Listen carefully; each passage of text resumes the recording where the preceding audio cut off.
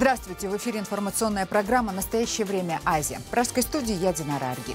Мы подводим итоги уходящего года и представляем самые лучшие репортажи наших собственных корреспондентов, которые вызвали наибольший общественный резонанс и набрали рекордное количество просмотров в социальных сетях. Сегодня в выпуске.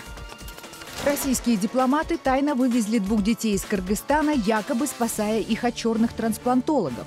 История оказалась очередным фейком от российских СМИ. Кыргызский МИД направил в Москву ноту протеста. Они же могли приехать, узнать, да, вы согласны дочку отдать в детдом? Никто ничего не сказал.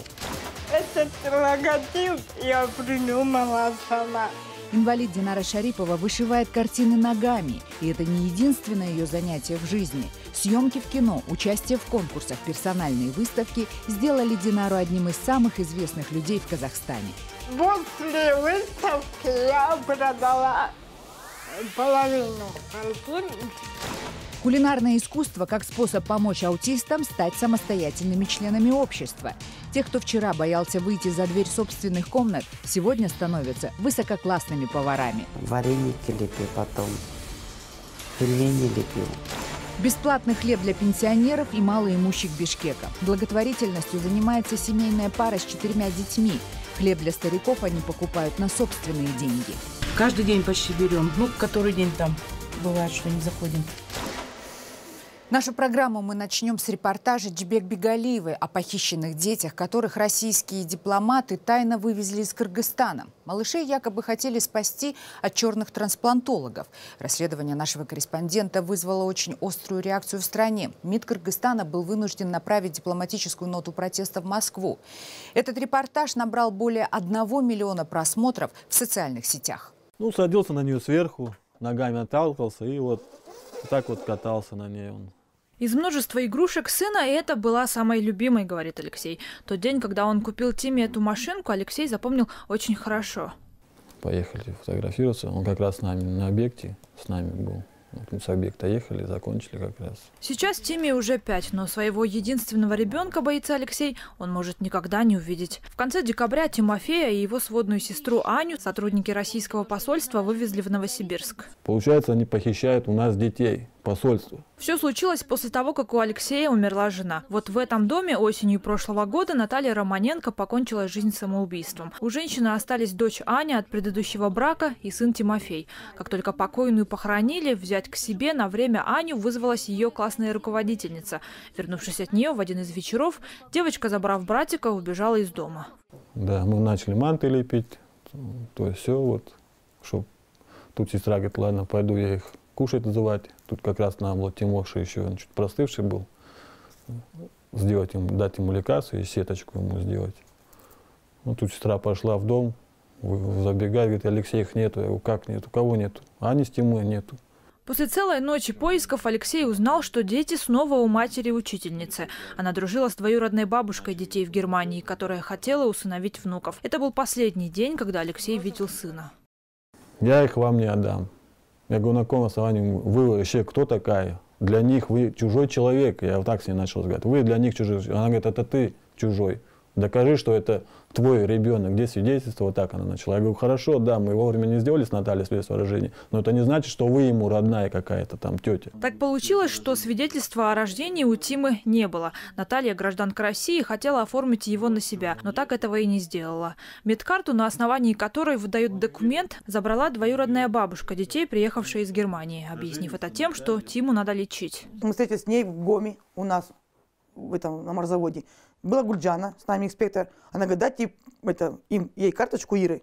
По моей ответственности. Мы дали ей карточку Гульджана. Гульджана передает это Иры. Ира говорит, я через три дня вам верну эту карточку. Три дня проходит, мы звоним. Гульджаны. Где карточка? Говорит, а что, она не привезла? Говорю, нет, не привезла. Для того, чтобы открыть новую медкарту, в больнице потребовали показать ребенка. Однако ни классная руководительница, ни ее мать не рассказывали, где держат детей. До тех пор, пока Алексей не увидел по телевизору. Тима и Аня уже в новосибирском приюте. А его самого обвиняют в продаже детей на органы. Не получив подтверждения ни от одного официального органа Кыргызстана, российские СМИ добавляли все новые подробности. Алексей обвиняется в убийстве жены, дети попрошайничали на улице, а на органы их якобы выкупили местные цыгане. Хоть он цыганин, хоть он русский, хоть он кыргыз, мы не должны делиться. А там прям в этом передаче передавали, что будто бы этих детей на органы продали цыганам. Ну почему цыгане такие ужасные люди или как? Как можно понять? Удивляются в районном отделе соцзащиты и тому, что дети якобы попрошайничали на улице в декабре, тогда как акт передачи Ани и Тимы российским дипломатам состоялся еще в середине октября. Вице-мэр города Шопоков и еще несколько чиновников отдали детей сотрудникам дипмиссии, не потребовав никаких документов. Одна из них просто оставила визитку. При этом посольские работники не поставили в известность отца Ани. Он оказался жив и здоров и все это время исправно платил алименты. Это подтверждает и его друг по несчастью, Алексей. Они теперь вместе намерены бороться за детей. Они знали, что я ну, проживаю здесь, нахожусь здесь в данный момент. То есть э, я не уехал, ее не бросил. Они же могли приехать, узнать, да, вы согласны дочку отдать в детдом или там в приют, или, ну как, э, кто-то, чтобы удочерил. Никто ничего не сказал. Не я, не к вам. А я обязала знаю, куда мне идти. Здравствуйте, а можно вас комментарий? Никому я ничего говорить не Классная руководительница Ани, Дарья, у ее матери жили дети, объяснять ничего не хочет. Вот и сегодня Алексей просит ее доказать, что был плохим отцом. В ответ ничего внятного. Вот вот так вот они разговаривают. Видите. Общаться ни с кем не хотят.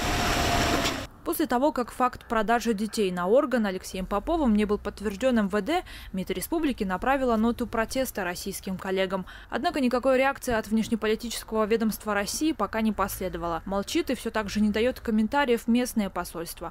Похоже, в этой странной и запутанной истории точку могли бы поставить именно они. Дюбек Бегалиева, Азат Интумаков. Настоящее время. Бишкек, Кыргызстан. Тема запрета на браки между родственниками, раскрытая в репортаже нашего таджикского корреспондента Анушервона Арипова, вызвала живейший интерес не только в Таджикистане, но и далеко за его пределами. Кадры генетической лаборатории, в которой вступающие в брак обязаны сдавать анализы на отсутствие родственных связей и врожденных заболеваний, были распространены многими зарубежными информагентствами и были показаны ведущими мировыми телеканалами. Также тема генетического контроля за браками широко обсуждалась в социальных сетях. Ну, положительно. Это хорошо. Почему? Дети уродами не будут. Тому человеку, который мы берем, например, жену, например, чтобы никаких проблем не было. С той стороны, ей тоже неудобно бывает, чтобы уточнить, узнать, что, например, мы с ней идем для анализа. Это тоже неприятно бывает. Законотворцы, значит, увидели необходимость и выпустили такой закон. Им виднее. Наверное, это бред.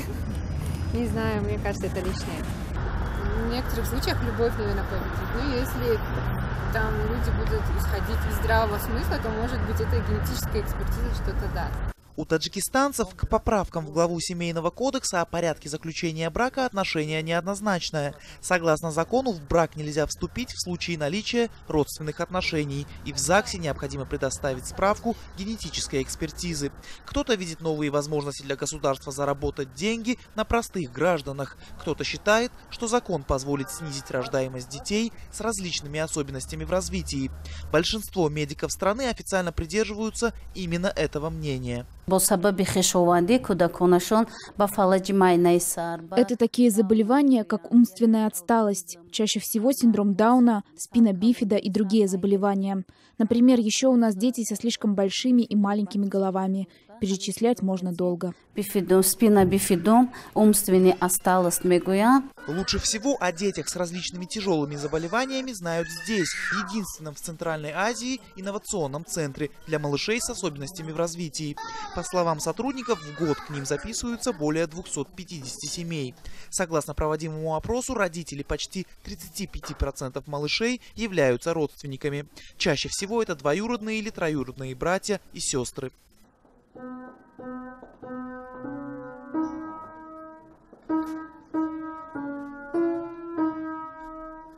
По словам медиков, большинство таких браков заключается в сельской местности, в труднодоступных районах и у представителей малых народностей, таких, например, как джуги, таджикские цыгане, у которых не принято жениться и выходить замуж за чужих.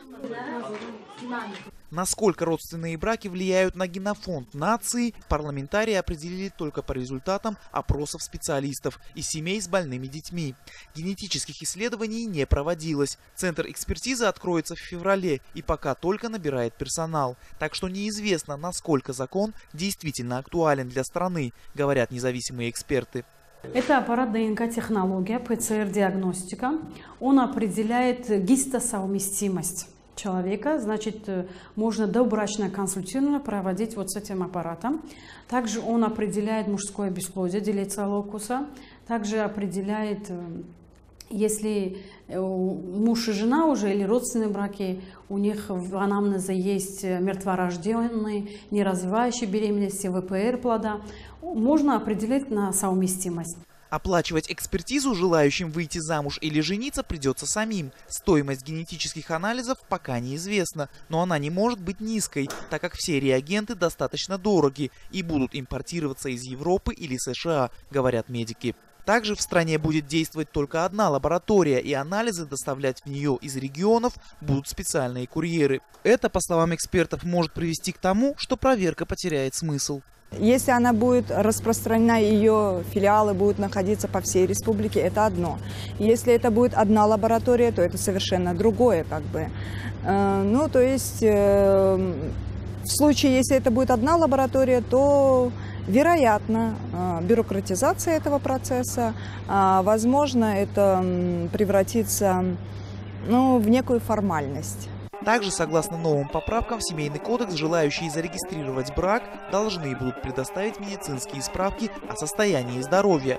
Это делается для выявления инфекций, передающихся половым путем. Больным ВИЧ, гепатитом или другими заболеваниями запретить жениться и выходить замуж не смогут, однако постараются отговорить от такого шага. Это может привести к нарушению конфиденциальности и прав граждан с инфекционными болезнями, считают эксперты. Безусловно, перед браком необходимо пройти медицинское, э, медицинское освидетельствование. Другой вопрос, что наряду с этим необходимо вести широкую э, информационно-образовательную пропаганду для снижения стигматизации э, ВИЧ-инфицированных, э, для снижения всевозможных мифов и стереотипов о том, что несет это заболевание и так далее. Ранее ряд депутатов и таджикских политиков настаивали на включении в список обязательного медосмотра теста на девственность. Однако в списке поправок упоминания об этой унизительной процедуре нет. Парламентарии считают, что отсутствие девственной плевы может стать причиной развода. Ежегодно в стране регистрируются десятки подобных случаев. Так что политики не отрицают, что в будущем подобный закон может быть и принят принят. Анушервон Арипов, Насим Исамов. Настоящее время. Таджикистан. Год назад в Алма-Ате прошла персональная выставка Динары Шариповой. Картины бисером она вышивает ногами. У Динары с детства диагноз ДЦП и недееспособные руки. Но это не мешает девушке заниматься творчеством, сниматься в кино и даже консультировать банки. После репортажа нашего казахстанского корреспондента Дмитрия Белякова девушка стала широко известным персонажем в казахстанском интернете. И, как стало известно, Динара Шарипова даже будет участвовать в международном интернет-конкурсе красоты «Мисс Вселенная-2016». Этот логотип я придумала сама. А ну, что на нем делать? Ноги, иголка с ниткой и цветочек на ноге. Фирменный знак алматинской мастерицы Динары Шариповой не спутаешь ни с каким другим. У Дины сложный диагноз – ДЦП и недееспособные руки. Но уже 13 лет она вышивает свои работы из бисера ногами. Мастер выбирает понравившиеся рисунки в интернете. Потом мама обводит их карандашом, и Дина приступает к работе – женские образы, цветы и птицы. Каждая картина занимает у рукодельницы около полутора месяцев.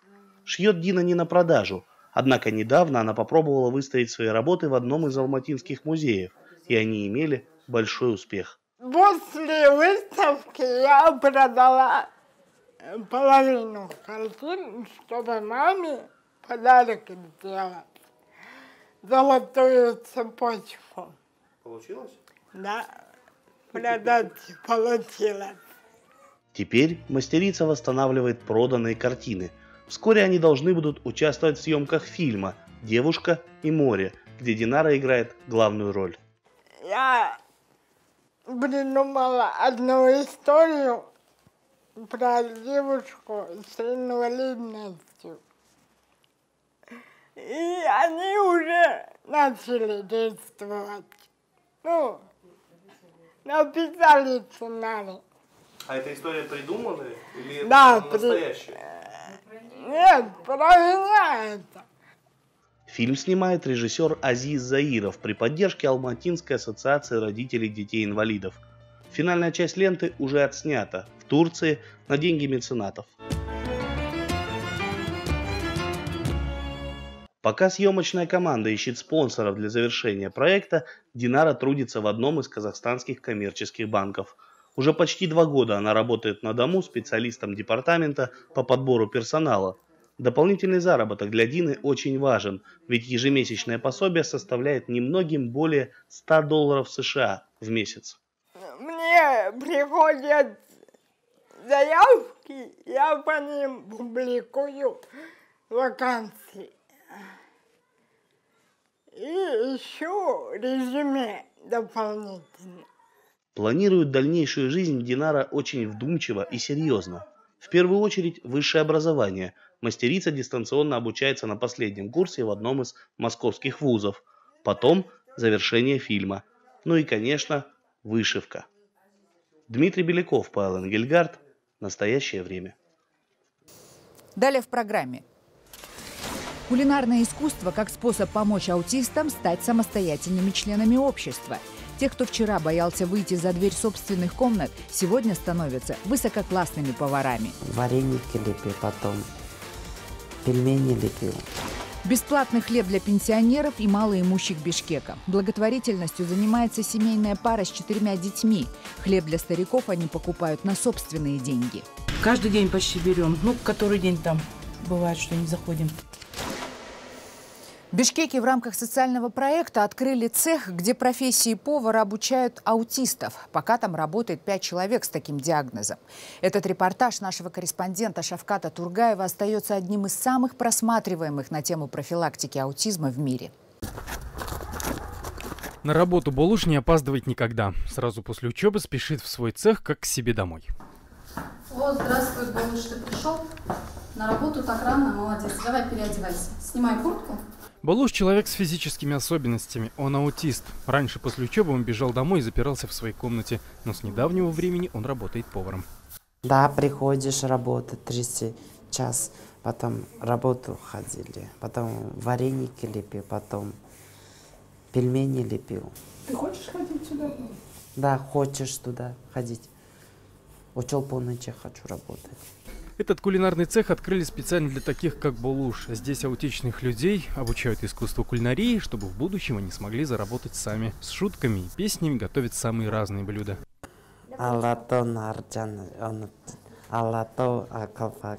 Дезде. Сейчас в цехе работает пять человек с аутизмом. Есть и молодые, и взрослые. Когда они сюда пришли, они ничего не умели. Мы их учили чистить морковку и картошку. У себя дома они этого не делали. Мы их научили месить тесто, лепить пирожки. Балуш у нас улыбчивый парень. Он очень красиво лепит вареники и пельмени. А в этой комнате работают уже родители детей-аутистов. Прежде Назгуль была вынуждена сидеть дома с ребенком, но кулинарный цех открыл для нее новые возможности. Теперь, когда ее дочь в школе, Назгуль работает здесь. У мужа есть своя работа, свое небольшое дело, и он работает, а мне приходится дома сидеть с ребенком. А сейчас нам вот такую возможность дали, вот общественное объединение «Рука в руке», обучиться здесь. Вот я месяц обу- обучилась, а теперь прихожу на практику сюда. У меня есть большая возможность тоже работать, тоже как-то себя реализовывать. И я сейчас э, здесь вот учусь, практикуюсь и могу уверенно уже сдавать свою продукцию в ближайшие магазины. А со временем я мечтаю открыть свой цех уже. Специальный цех открыло общественное объединение «Рука в руке» в рамках социального проекта. Приготовленную здесь еду раскупают местные магазины. Если найдутся новые клиенты, то число сотрудников с физическими особенностями увеличится, говорят в объединении. А У нас есть договоренность э, с несколькими магазинами, э, куда мы сбываем свою продукцию, но э, пока этого количества мало, да, то есть мы не можем э, всех ма- мам и всех людей с аутизмом, которые здесь у нас сейчас обучаются, э, трудоустроить, да, обеспечить. Все зависит от количества заказов. Чем больше заказов, тем больше мы сможем им предоставлять времени да, для работы. Но пока у нас только вот такое ограниченное количество. По официальным данным, в Кыргызстане проживает более 20 тысяч детей-аутистов. При этом реабилитационный центр имеется один на всю страну. Шавкат Тургаев, Айгери Махалбекова, Алишер Муталипов. В настоящее время Бишкек, Кыргызстан. И, наконец, репортаж «Чемпион», который только на страницах популярной соцсети «Одноклассники» набрал 4 миллиона 200 тысяч просмотров. Хотя его тема очень проста. Семейная пара с четырьмя детьми раздает бесплатный хлеб пенсионерам и малоимущим. Но именно эта человеческая история нашла максимальный отклик у наших телезрителей и у тех, кто следит за нашей программой в интернете. Репортаж Дебек Бегалиевой. Те, кто в магазине в первый раз, не сразу верят. Читают надписи, недоверчиво цокая языком, все же берут хлеб. Для пенсионеров он здесь бесплатный. Почти каждое утро пенсионеры приходят, берут именно хлеб, потом начинают считать на молоко. Бывает, у них не хватает. У нас самих, самих родителей пенсионеры. Знаем, пенсия у них маленькая. С женой посоветовались, решили хоть как-то пенсионерам помочь. И теперь в этом лотке каждый день стоит свежий хлеб. Уже к обеду все булки разбирают. Пенсионеров в районе много, а некоторые вообще приходят сюда издалека. Ну, молодцы. Просто слов нет. Мы здесь постоянные покупатели. Каждый день почти берем. Ну, который день там бывает, что не заходим. А так очень приятно. О том, чья это инициатива, благодарные старики даже не спрашивают. Ответ им кажется само собой разумеющимся. Ну все же думают, что это правительство. Да. Объяснить всем, что хлеб они каждый день покупают на свои собственные деньги, канад с Радой не хотят. Того, что они зарабатывают в небольшом магазинчике, на их большую семью хватает. Так и живем. У нас четверо девочек. Мы даже и не думали Да. ждать благодарности, Мгм. потому что куда шугуру, хлеб есть, сахар есть. Дом есть. У нас есть то, что некоторые люди... У людей Просто- нету, да.